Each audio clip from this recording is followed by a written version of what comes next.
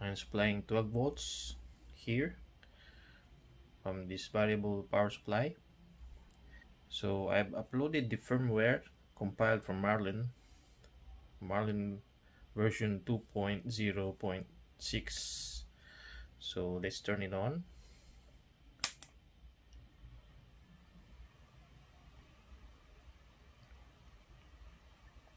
So you can see here that it says no printer detected. On the bottom no printer attached. So let's try to move the axis.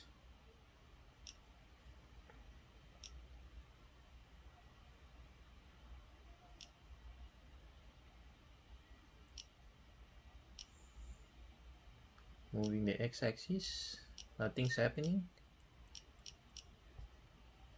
which is that one for the x-axis. The y-axis is the one in the middle. Still nothing. And also for the z nothing. So we go back to the main menu. Go to the 12864 mode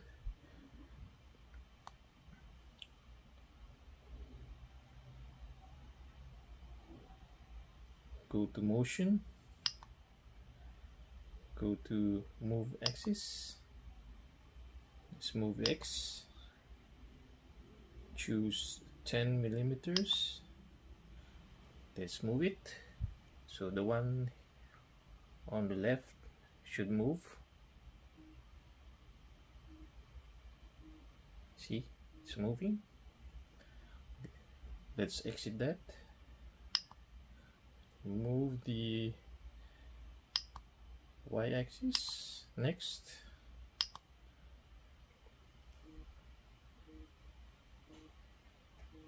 You can see it's moving as well. Let's exit that. And the Z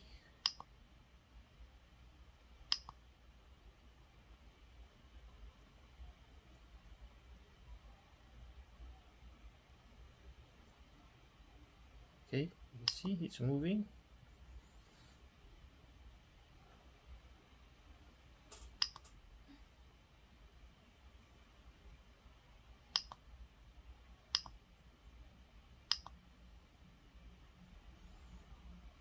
So there seems to be a problem with the touchscreen so I'm going to recompile Marlin and re-upload on the board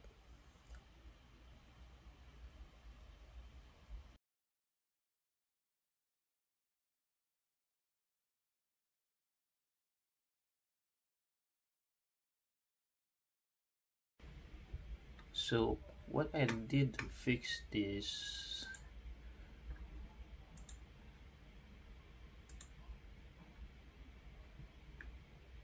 was to go to the configuration.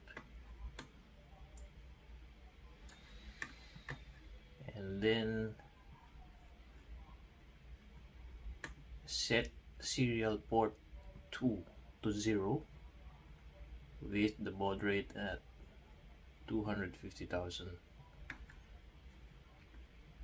which was not mentioned from Chris Riley's tutorial. So this made it work for me for the touchscreen.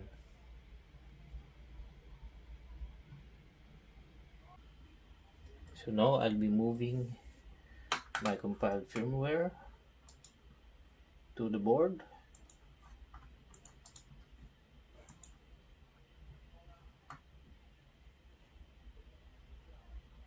so it's now on the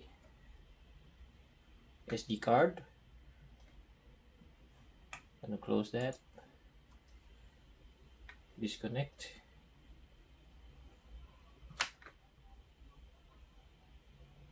Then reconnect again.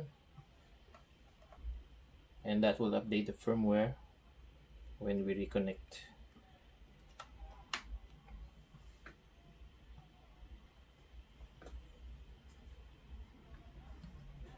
so now the firmware has been updated to September 5 2020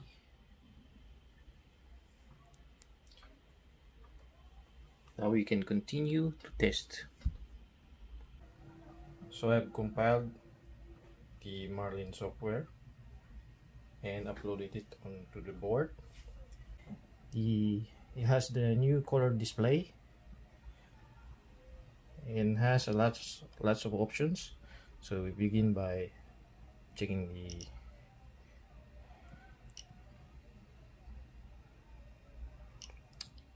menu here. It says it's ready. So for the fan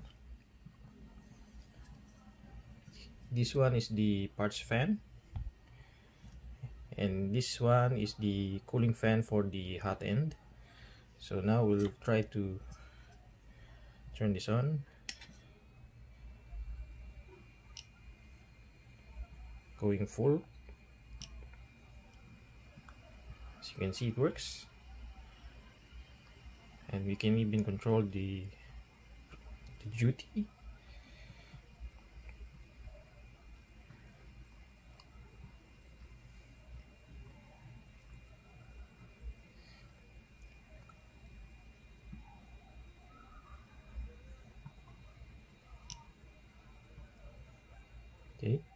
let's try that again.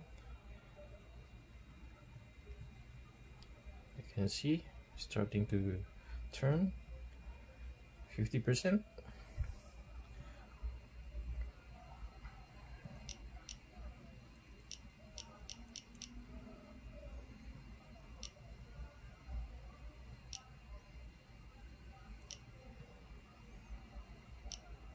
stop that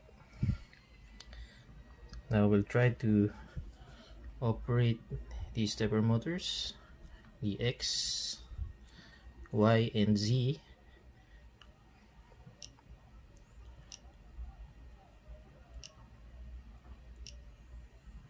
So let's move the x-axis making a quarter turn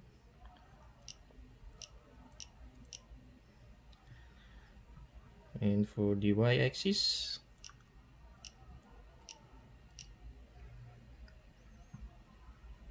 Z?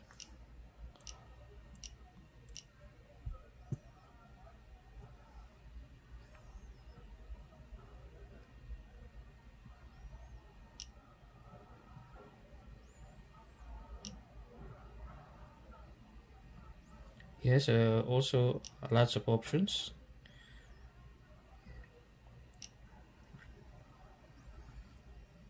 we can invert the the axis. We can even enable start and end G codes. We can control the LCD brightness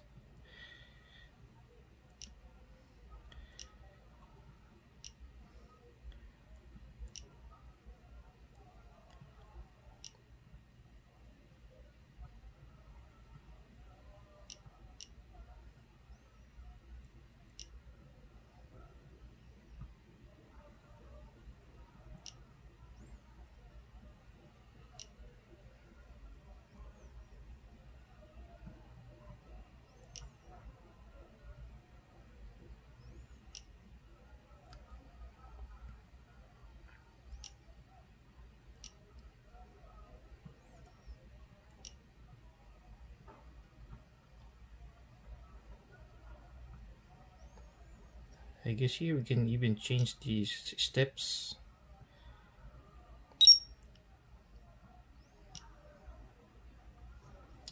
We can change the driver current.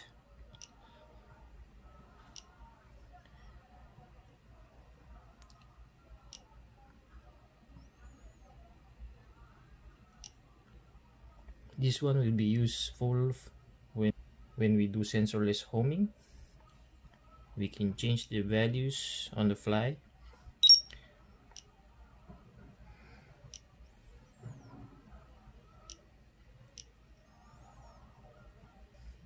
We can even change the communication speed. We can read from three sources from the USB from the onboard SD card and another SD card at the back of this display.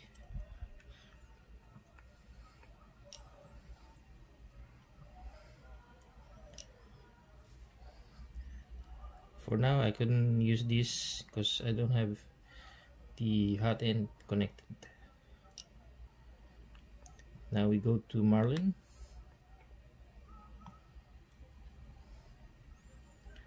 We have the info screen motion the normal items on the Ender 3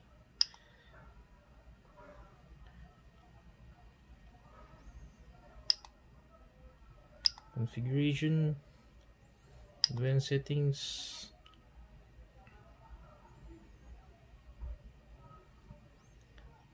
Can even set offsets. Steps